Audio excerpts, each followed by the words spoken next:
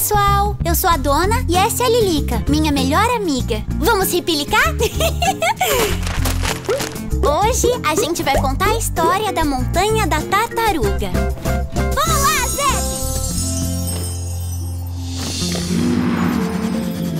Essa é a história da montanha da tartaruga. Ela só acorda em época de colheita. E quando ela girar. Fica assim, bem doidão. E ainda bem que isso só acontece uma vez por ano. Mas depois a gente sempre sente saudade. O mundo Ripilica é um mundo infinito onde tem lugares, coisas e seres incríveis. E a gente vai mostrar tudinho pra vocês, combinado? Tchau!